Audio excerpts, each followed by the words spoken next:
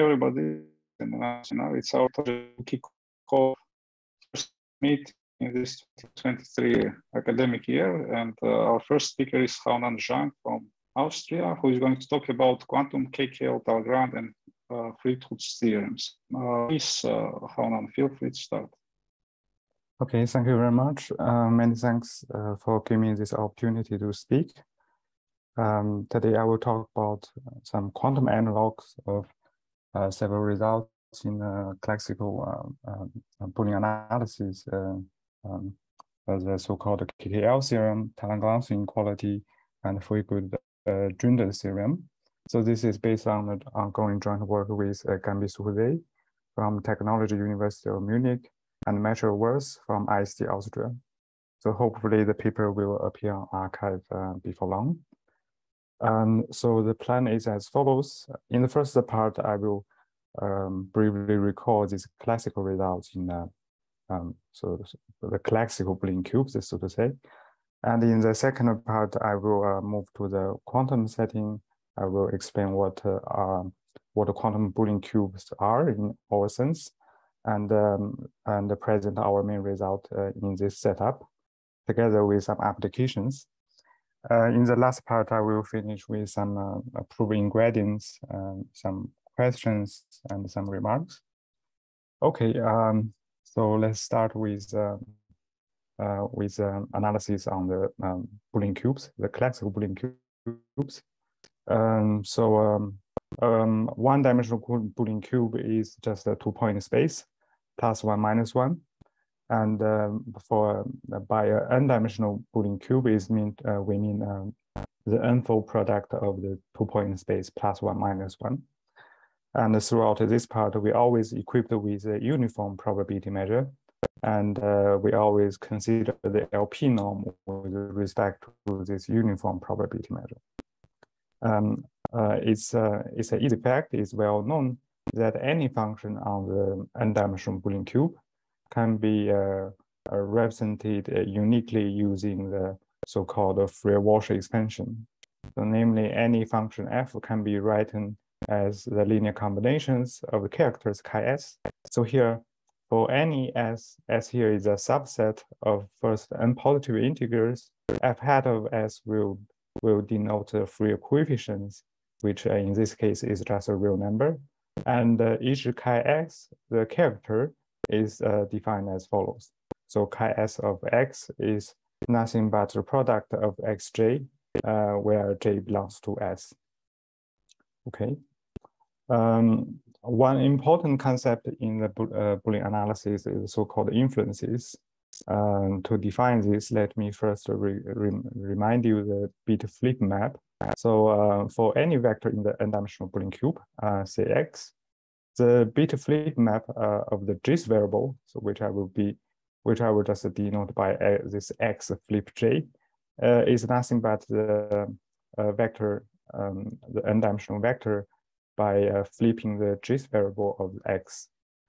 And this induces a map over the algebra of the function on the Boolean cube, which is defined as, as follows. So for any function f on the n-dimensional Boolean cube, I define this f flip j as a map, uh, as a function that flips the JIS variable. Okay. And I will denote by this capital DJ, uh, the discrete analog of partial derivatives along the JIS variables. And using this, we can define the uh, so-called influences. So the influence of the JIS variable of any function on the Boolean cube is defined to be the, the square of the L2 norm um, of this dj of f. So this will be denoted by this infim of j. You can also represent this uh, uh, j's, um, the influence of the j's variable using the Fourier coefficients, which will be the sum of square of the Fourier coefficient at s, where s contains this uh, variable j. Okay, so uh, in particular, when your uh, influence is uh, is empty, is zero, and this means this simply means that the function f does not really depend on the JIS variable. So that's uh, that's where this name influences come from. And then the so so-called total influence is simply the sum of all these individual influences. uh, again, you can use the Fourier coefficients to represent this total influence, which will be the sum over S. S is a subset of first and positive integers of the uh, product of the cardinality of S and the square of the Fourier coefficients at S. So this is a very nice formula because this is closely related to the to the so-called Laplacian operator on the Boolean cubes, which will be this um, this delta here. And uh, this delta is a very important operator.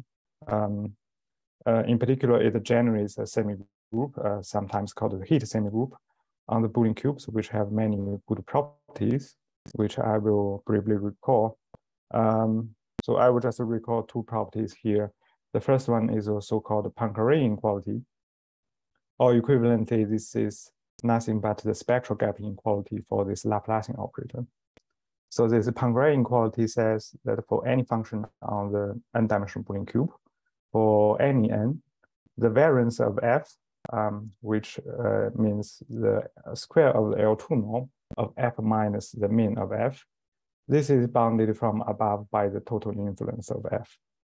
So this um, this provides a lower bound, a lower bound of the total influence of the of any function actually. And uh, later we will uh, we will discuss this inequality um, uh, later. Another very important inequality is so-called hypercontractivity, um, which says the the heat semigroup generated by this Laplacian operator. And by the way, the semigroup, you can also represent it as a Fourier multiplier using the Fourier expansion. So the hypercontractivity says that this semigroup is actually a is a contraction from LP to LQ uh, whenever this time t satisfies this inequality. So here P and Q are, are between one and infinity and P is smaller and equal to Q. So uh, this is a very, very strong, very strong property. And uh, this is one of the main tools in many, um, many problems of um, uh, on the Boolean cubes. Okay. Uh, so what is a Boolean function? So Boolean functions are uh, is a very special class of functions. So by the definition, a Boolean function uh, is uh, nothing but a function on um, n-dimensional Boolean cube that takes value only plus one or minus one. It is said to be balanced if uh, it has mean zero uh, with respect to the uniform probability measure. So here are some examples of Boolean functions. So the first one is, uh, is very simple, the so-called dictatorship. Namely, this Boolean function depends only on one variable. Um, the second family of examples the so-called K-junta, which are something more, slightly more general than the dictatorships. So, uh, namely, this, this Boolean function depends only on k coordinates. So, namely, fx is uh, g of x1 xk, uh, where g is a Boolean function um, on uh, k-dimensional Boolean cubes. So um, the dictatorship and the K-junta, they are just, uh, they are understood as very nice uh, Boolean cubes because they are, they depends only on fewer coordinates, so their structure is much easier. And the last example is the so-called majority function, uh, which is defined as follows.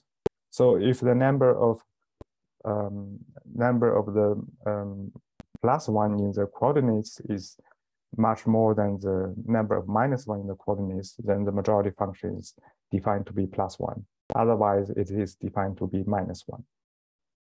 Okay. And there is a very important property for the Boolean function is uh, is the following is the following um, because by definition f takes only um, uh, value plus one minus one. So d for each j, dj of f takes value only in plus one minus one and zero. Therefore, the definition of the uh, influence of the jth variable, you can actually define it for any p. So namely, it is the same as a p's power of LP norm of dj of f.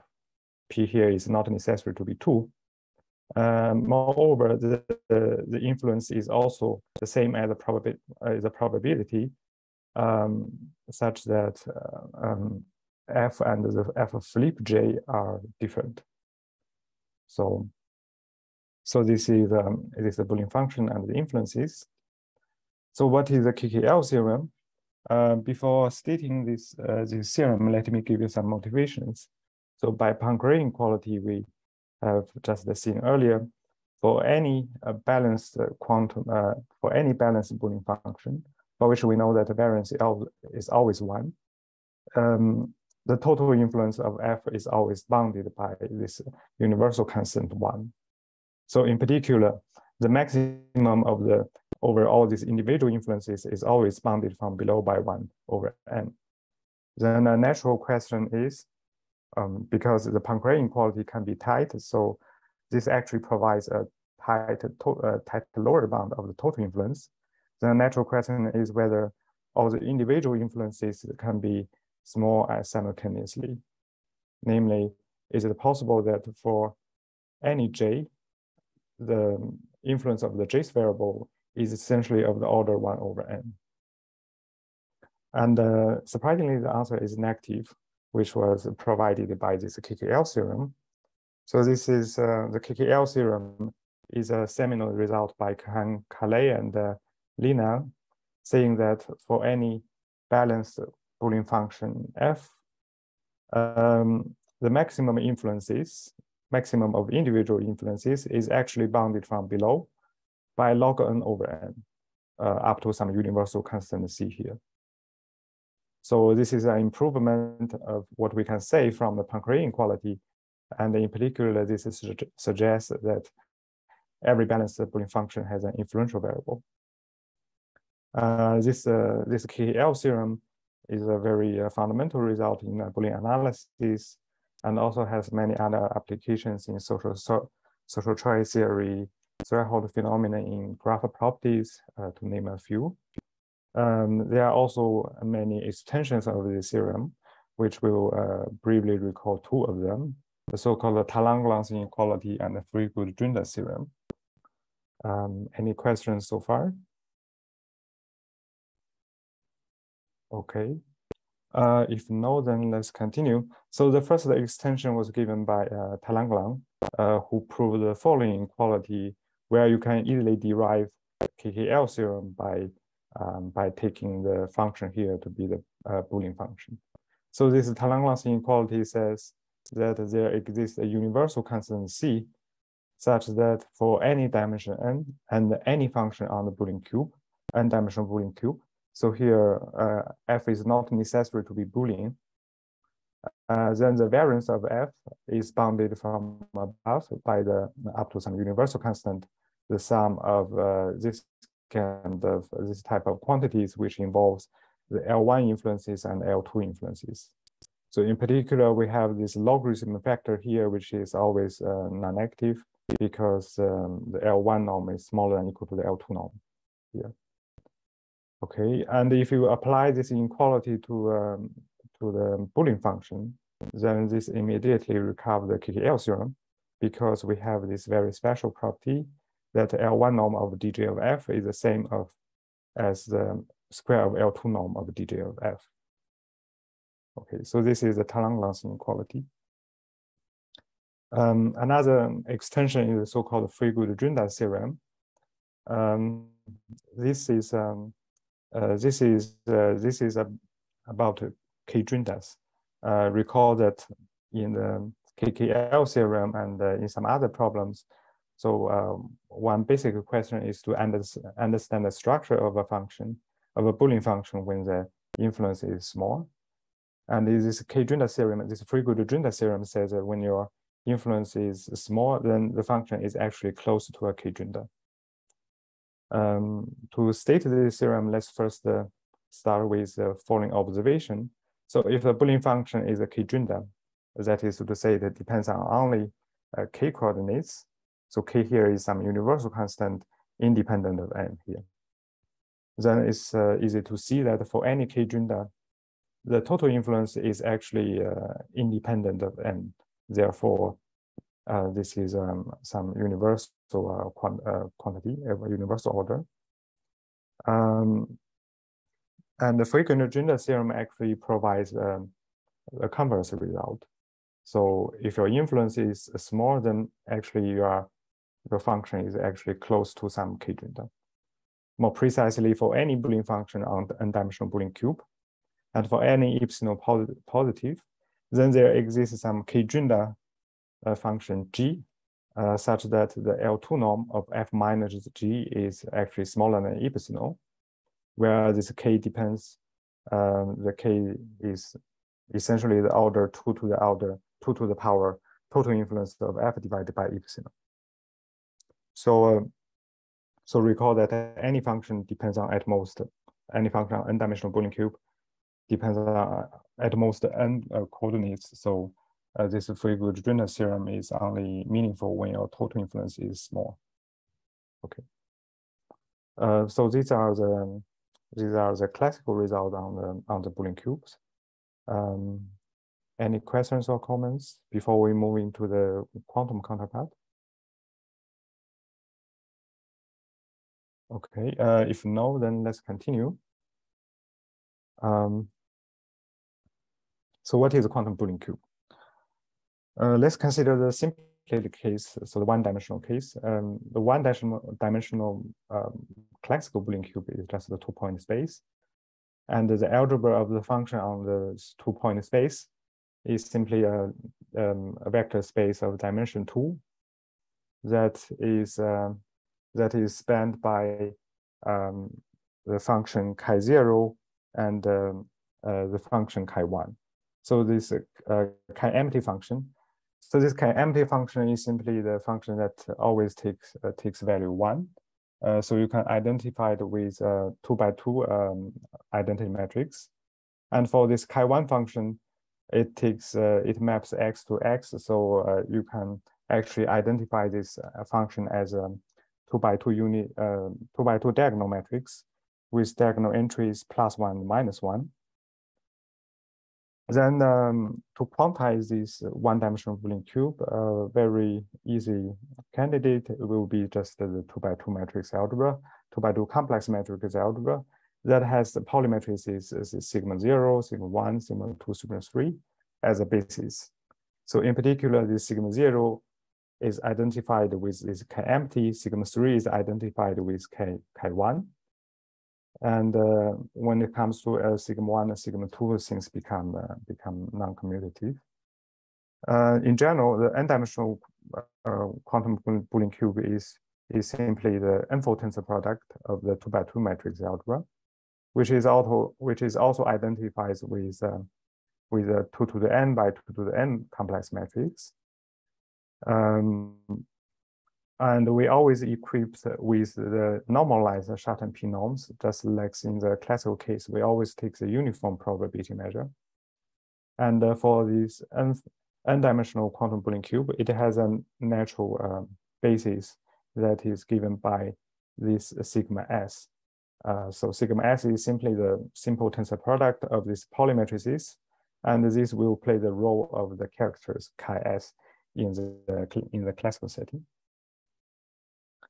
So uh, namely for any function on the n-dimensional quantum Boolean cube, uh, that is to say some matrix in this uh, uh n-fold tensor product of two by two matrix algebra, we always have this Fourier expansion where a sigma s is, uh, is uh, essentially the character.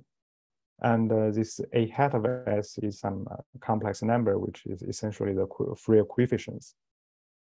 And the things becomes um, easier.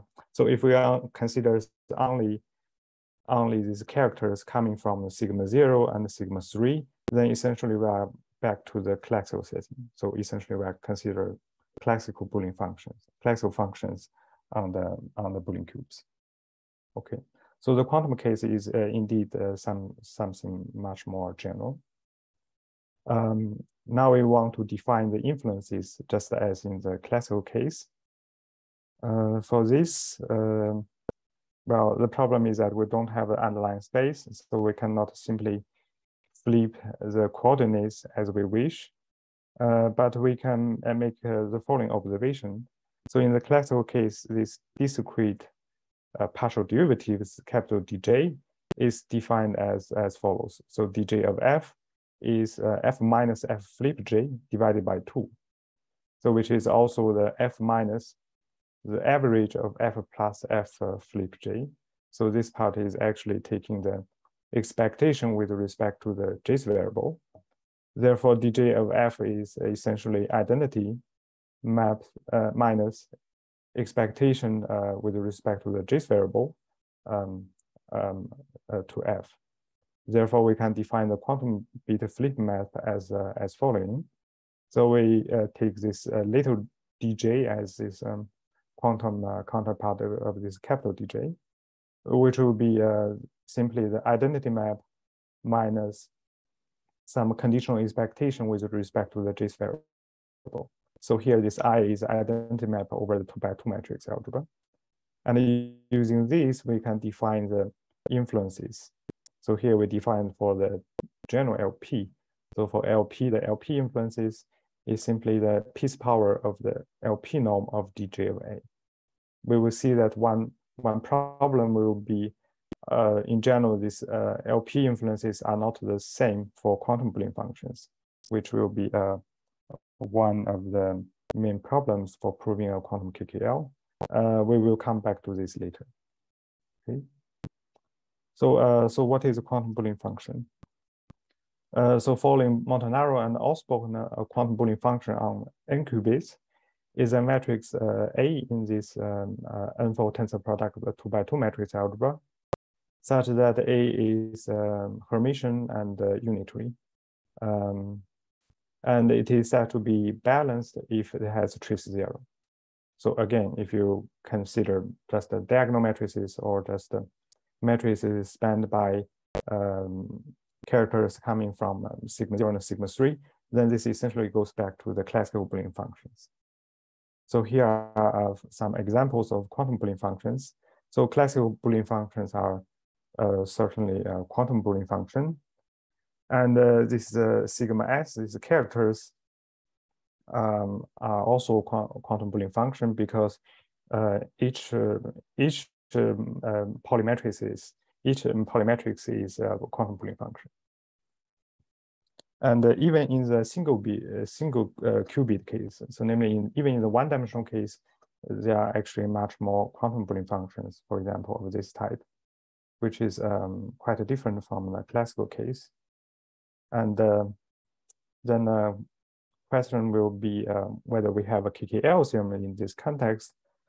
Uh, but before that, let me uh, um, point out one very important difference which concerns these influences. Uh, so for classical Boolean function, we know that the L, all the LP influences are the same.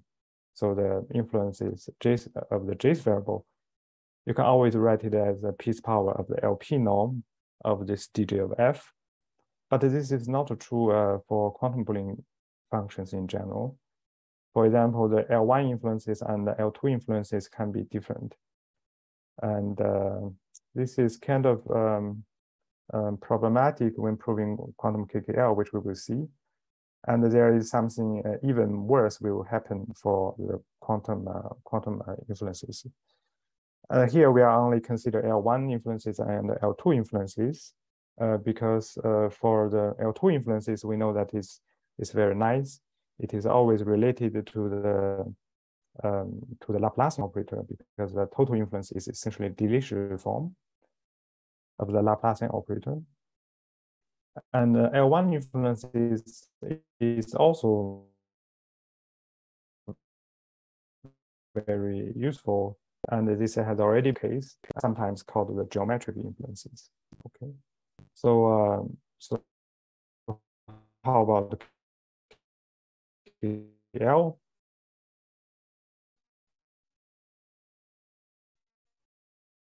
Um, certainly, I mean the quantity which actually we already have um, uh, due to Montanaro and Osborne. So uh, they prove that for any uh, function on n qubits. So A here is some matrix. A is a self-adjoint. A has a trace zero.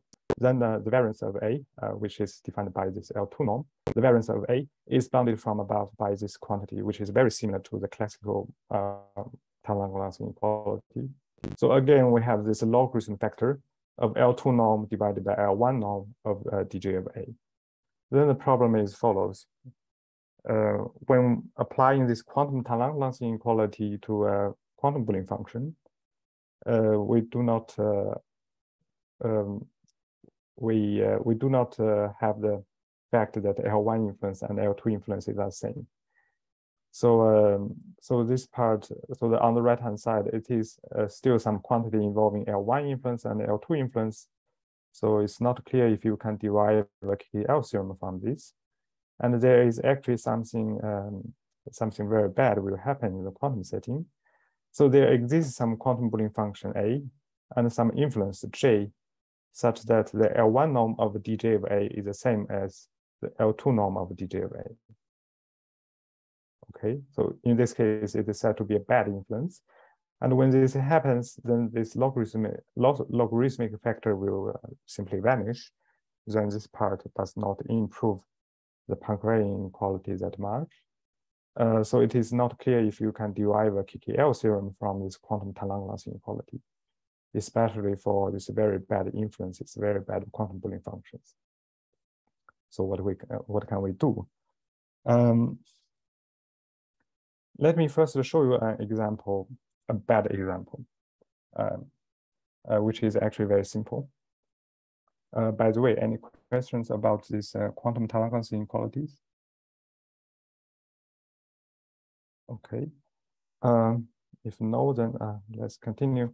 So uh, this this example is a is a following. We take any real numbers, positive real numbers, alpha, beta. I have a question, Haonan. Can you go yes. back to quantum Talagrand? You write trace a equals zero, and you have trace in the inequality, it's just zero, right? So uh, yeah, this is a very good point. So uh, this part simply vanishes. So okay. in general, um, I think this is also true maybe for, um, yeah, without uh, trace zero assumption. But the point is uh, L2, uh, the variance is defined using L2, L2 norm. Oh, okay. Yeah. Okay. Thank you very much. Um, so how does this bad example look like? So let's take uh, two positive numbers oh, I'm sorry, alpha beta such that um, alpha square plus beta square is, uh, is equal to one. Okay. Then we consider the following uh, quantum Boolean function, capital A that is defined as follows. So A is, is alpha times sigma zero tensor sigma one plus sigma two tensor sigma three. Okay, recall that sigma zero is just identity sigma 1, sigma 2, sigma 3 are the other Pauli matrices. Then this is a quantum Boolean function because it is clearly a Hermitian. And moreover, due to this anti-commutative uh, anti relation of the sigma 1 and sigma 3, one can easily calculate that A square is actually identity. So this uh, sigma 1, sigma 3 equals minus sigma 3, sigma 1. So this is something uh, quantum which will not happen for the classical uh, functions. Then a easy, uh, a easy calculation gives you that the, um, the d1 of A, so um, d1 of A is actually beta times this unitary matrix, sigma 2 tensor sigma 3. Therefore, the LP norm of d1 of A is always this beta, which is arbitrary number between 0 and 1.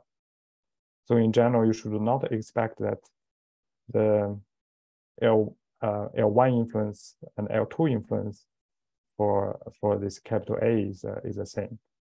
And uh, furthermore, the L1 norm and L2 norm, they are the same. Therefore, this quantum Talagrand's inequality is not very helpful in this sense. Okay, so this is a very uh, typical, very simple back example. Uh, then the problem is do we have a quantum KKL theorem in this context?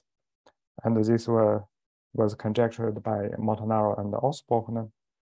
So namely, the question is, does any quantum Boolean function have an influential variable? Um, as, the, as we have many different ways to define the influences, so more specifically, we consider the L2 influences because L2 influences are very nice. Um, and this conjecture was known for two very extreme cases. The best case, will, which will be just the classical Boolean function, which we know that it is certainly true. And the worst case is the bad examples, which we just have seen. So uh, there are much more bad examples of this type. Um, we know that, okay, we don't know that if the quantum KKL we just seen uh, is, uh, is helpful or not for proving a KKL, but these bad examples have very special structures. So you can analyze them directly and uh, and uh, Montanaro and Osborne, they can still prove that for these bad examples, the KKL theorem is still valid. So, so this conjecture is valid for two extreme cases, then it's natural to expect that uh, it holds in general for general quantum Boolean functions. So uh, one of our main result is a is a is an alternative answer to this uh, to this question, uh, namely, if you allow to replace this L2 influence by L1 influence, then, then the answer is actually positive. So every balanced quantum Boolean function has a variable that is geometrically uh, influential. Okay. Um, to, uh, um, to, to present the main result, to, to further explain this statement, let me start with a quantum analog of L1 Poincare inequality just to motivate the question in the L1 context. So for any matrix A in the n-fold tensor product n by n metric, uh, two by two matrix algebra, then uh, the L1 norm of A minus the expectation of A is bounded from above by the total L1 influence of A up to this universal uh, factor pi here. Then as just as uh, as before, we can argue that okay, uh, for any balanced quantum Boolean function, the maximum L1 influence is bounded from below by pi over n, then whether then is it true that all the individual influences are of the order pi over n um, for, for all the j. And uh, we will see that uh, the answer is negative as long as we have the following quantum analog of L1 type uh, inequality. Uh, so this inequality says that for any such matrix, such that the uh, operator norm is bounded from above by one, then the variance of A is bounded from above up to some universal constant of uh, this sum here. So um, this is something that is very similar to the uh, inequality we have seen before, but one important difference is that it involves only the L1 uh, L1 influence. Uh, again, we have some uh, logarithmic factor here. Since this only involves the L1 influence, so we don't really have the problem of the L1 and the L2 influences. Uh, in particular, if you apply this inequality to uh, balance the quantum Boolean function, then immediately the maximum L1 influence of DJ uh, of A is bounded from below by um, square root of log n divided by n up to some universal constant C here. Okay, so uh, this is how we can how we prove a L1 uh, version of quantum KKL. And this inequality is uh, certainly not new in the classical setting. So uh, this was probably first proved by Keller, Mossel, and Sen, and uh, was later studied by many others that inspired our, our proof. Okay. Uh, okay, so having uh, L1, uh, Talagrand L1 KKL, uh, we also have a quantum analog of Friedgut-Junta theorem, which is the following.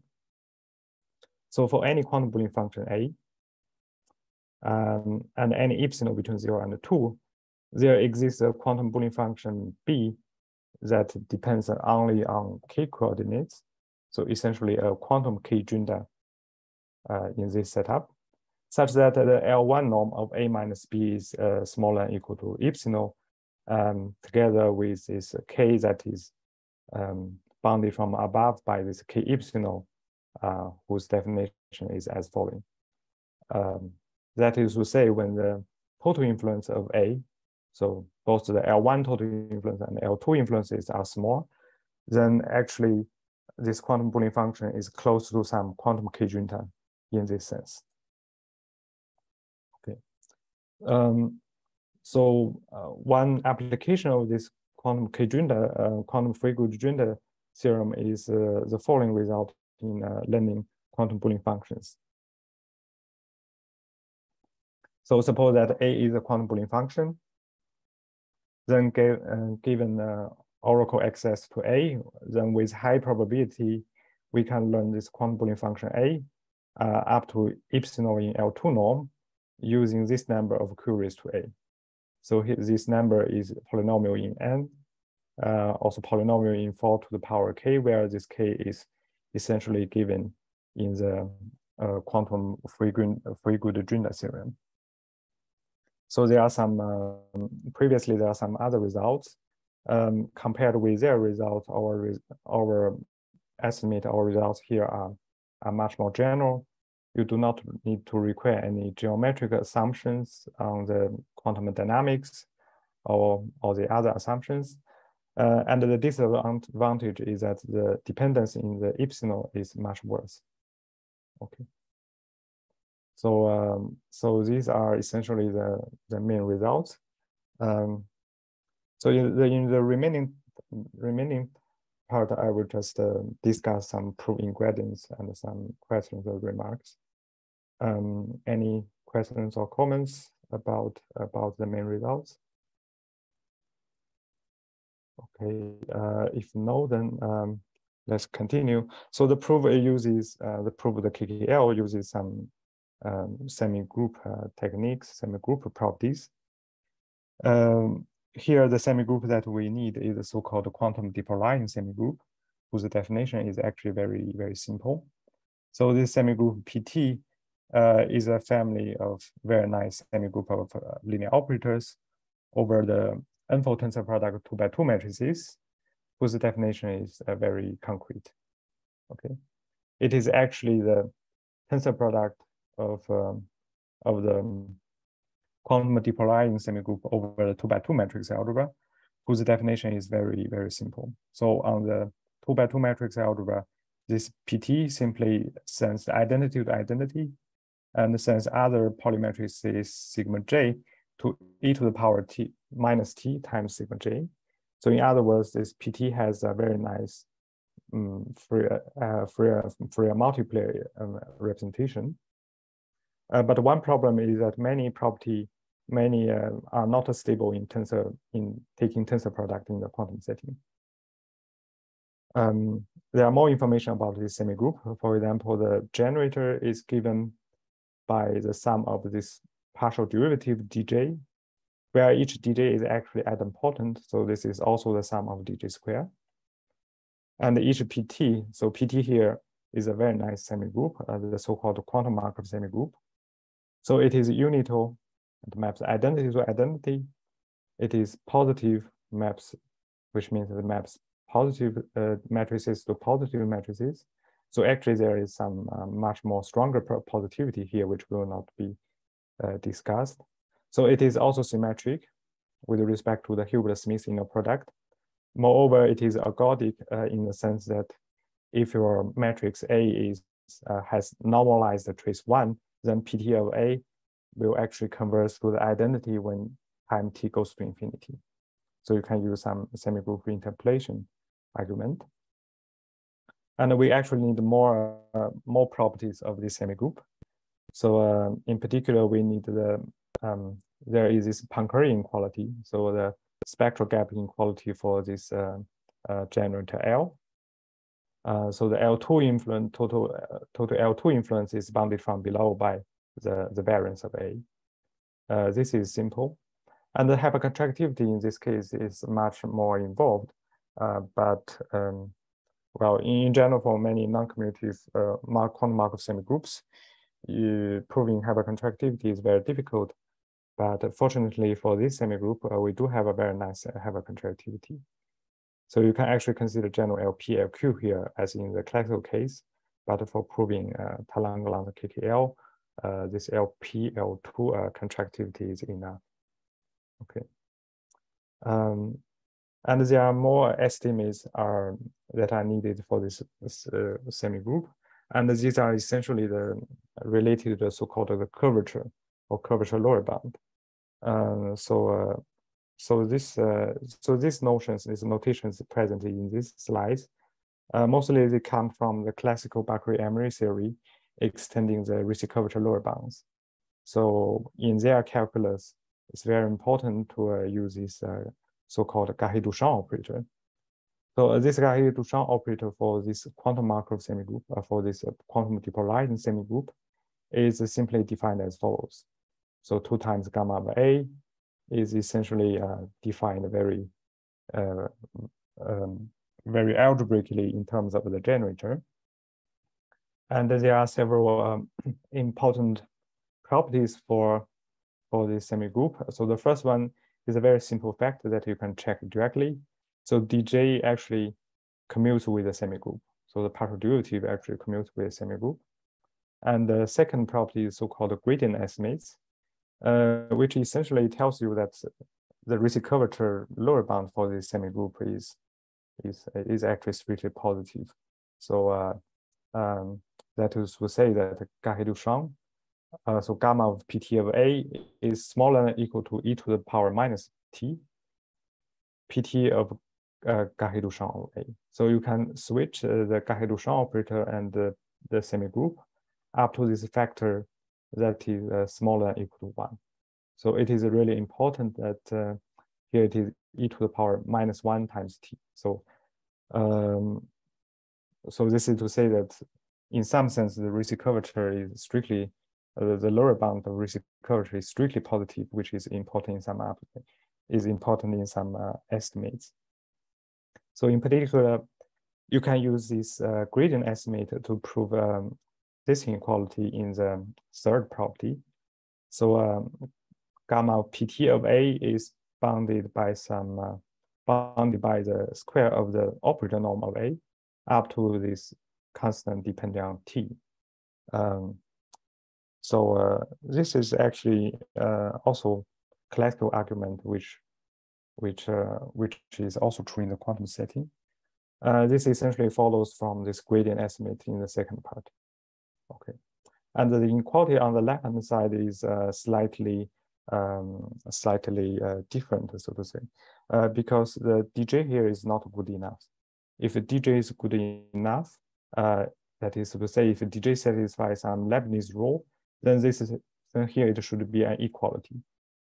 But the partial derivative DJ here is uh, not that nice, so the equality is not true in general uh, but luckily, we still have an inequality in the right direction. So uh, from this inequality, we can easily derive that uh, the operator norm of dj of pt of a is actually bounded from above by the operator norm of a. Um, oh, I'm sorry, norm of a uh, divided by this uh, uh, this factor in terms of t. Okay. Okay, so so these are essentially the the, the estimates needed to prove uh, needed for proving a quantum KKL. Um, let me give you a few remarks. Uh, the first remark is that uh, our results, some of our results are actually valid beyond uh, these very special matrix algebras. So um, some results are actually for general, uh, are actually hold uh, valid for more general quantum algebras so that we can also include some classical extensions of uh, Talagrand's inequality as special cases. And there are more results that can be derived from um, Talagrand's inequality or KKL theorem. For example, this qubit analog of uh, as a parametric type inequality, um, which I will not discuss further here. But one important uh, comment is that the definition of this surface area uh, in this case is defined using the L1 influences, which is very important. Okay. Um, okay. Um, so here the, there is this universal constant C here. so this is actually some quantitative version of uh, uh, quantum isoperimetric type inequality. Okay. Um, uh, let me finish with a conjecture, uh, which we think is, uh, is very interesting. So if you can prove this conjecture, then you can obtain, obtain some interesting applications in learning low degree quantum Boolean functions. So, um, so in the most part of this talk, I discussed um, uh, some inequality related to the influences, but the, there is there are other no concepts which are very important, such as a degree. So um, I, I didn't define the degree of the of the of the function on Boolean cube, but we can see this uh, immediately from the definition in the quantum setting. Uh, so this conjecture is a quantum analog of the so-called Bohnenblust-Hille's inequality.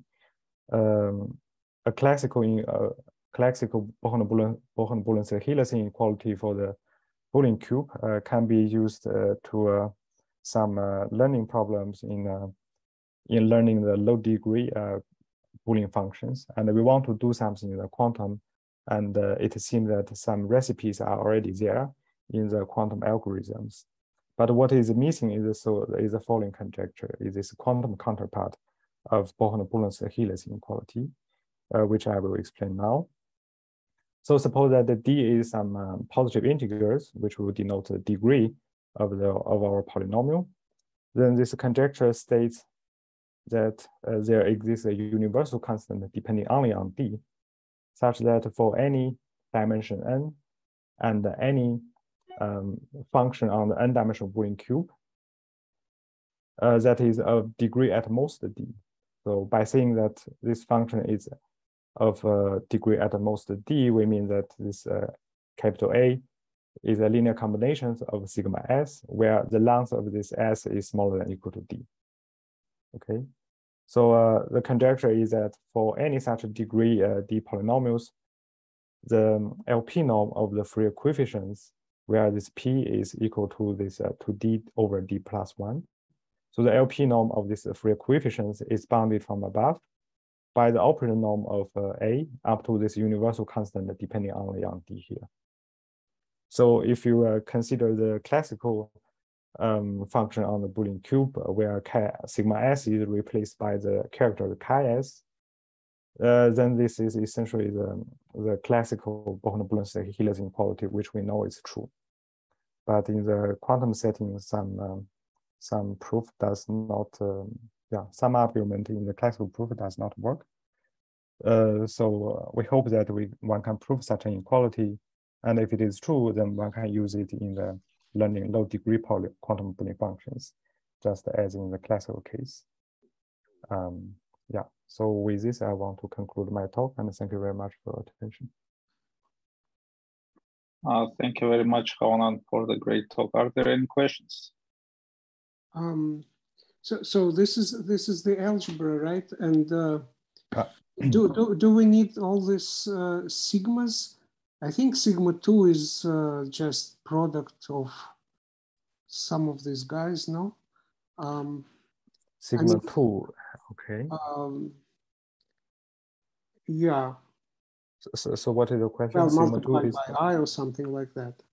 Um, multiply i i. Uh, you do not recover this. You do not see this from sigma one. Is so, this your question? So we cannot we cannot recover yeah, yeah. from from others other guys. No. Uh, if you want to see a well linear combination, no. But if you allow um, algebraic operations, the answer is yes. Mm-hmm. So uh, if you consider, I don't quite remember, maybe sigma one, sigma two minus sigma two, sigma one. So you consider the anti-commutator, then you should obtain some multiple of sigma three. And similarly, you can yeah do the similar anti-commutation relation to uh, derive to to obtain um, one of them from the other two. I mean, you certainly cannot uh, consider sigma zero here, which is uh, identity.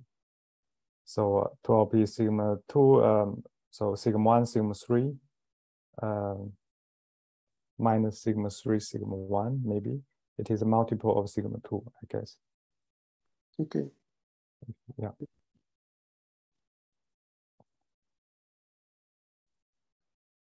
Okay, any other questions? Yeah, I guess I guess I have a question. Thanks so much for this uh, talk. Really excited to read the, yeah. the paper when it gets posted. Um, yeah. One thing that's always struck me as a little strange about quantum Boolean functions is this hermiticity requirement. Like, I guess the the goal eventually would be to relate this to, um, you know, kind of concrete questions about quantum circuits and so forth. Um, but I've I've always felt like Pauli decompositions don't um, they, they don't seem to respect notions of complexity that are natural for circuits. So, for instance, you can um, very easily create a uh, you know maximum degree Boolean function with a depth one circuit. Um, I was just curious if you know this this particular like what aspects of your work relies on hermiticity of the unitary. Yeah, thank you very much. Uh, this is a very nice question. Uh, so we essentially we are we are just following the definition of Montanaro and Osborne, mm -hmm. and uh, there might be other um, might be other definitions of quantum Boolean functions, uh, which I haven't seen. So I would be very interested in other notions of quantum Boolean functions. So um, so okay, so this um, square root identity, this is natural assumption. For this Hermitian um, assumption, maybe you can also remove it. So some results in this talk are, um, are do not really need this uh, uh, A to be uh, to be self-adjoint to or to be Hermitian. So maybe you can also remove this uh, the, remove this assumption. Mm -hmm. So I I don't know their motivation of posing this uh, constraint constraint, but uh, it it it it did make some things easier. Right. Yeah. Yeah. I mean, I think it's it's probably the best first place to look. Um, yeah. Great. Thanks so much. Thank you very much. Um, so I computed uh, yeah. so sigma one times sigma two equals i times sigma three. On, on actually minus i times sigma three. Uh, does it matter or not? I mean, um, um, so we consider this function of these sigmas. It's algebra, we can multiply them. Mm -hmm. So in principle, we don't need all of them, right? Because if we can multiply and one comes as, as the product of others, um, yeah, it, it just it's just curiosity. So.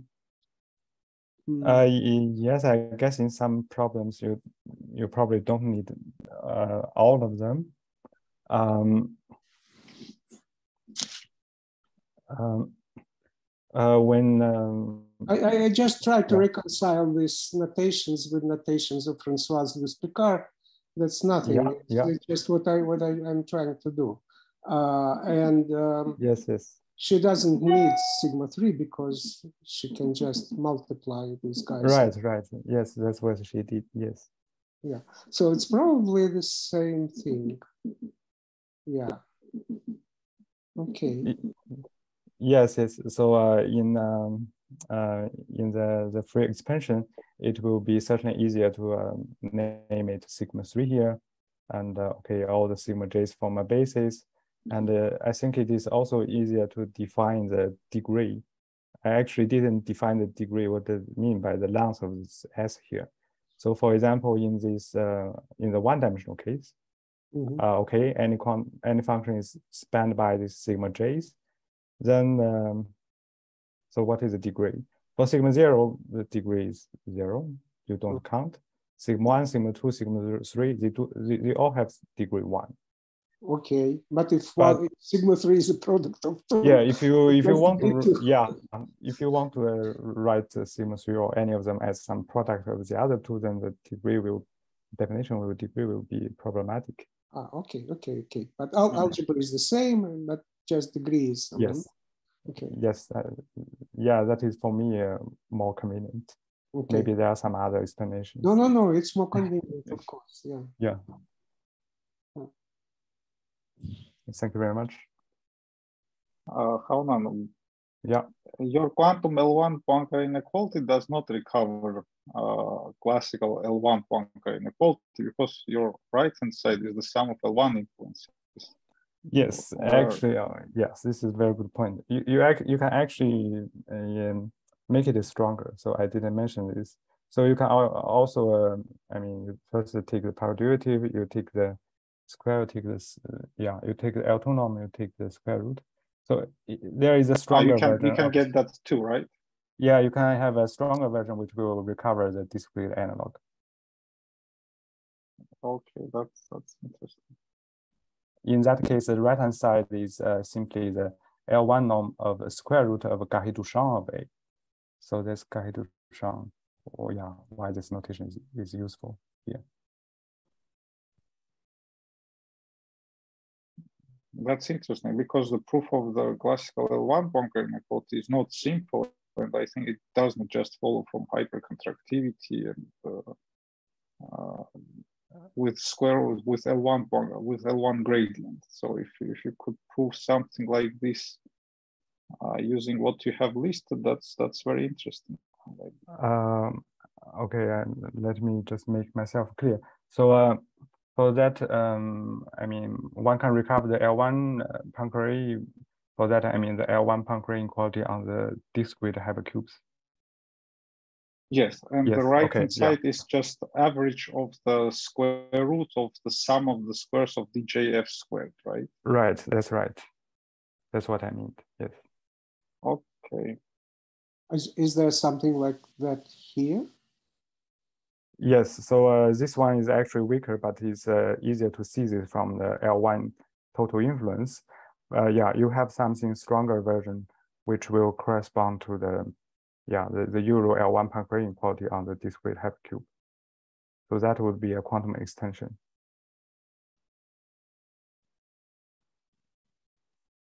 Okay, that would be interesting to see when your paper gets posted.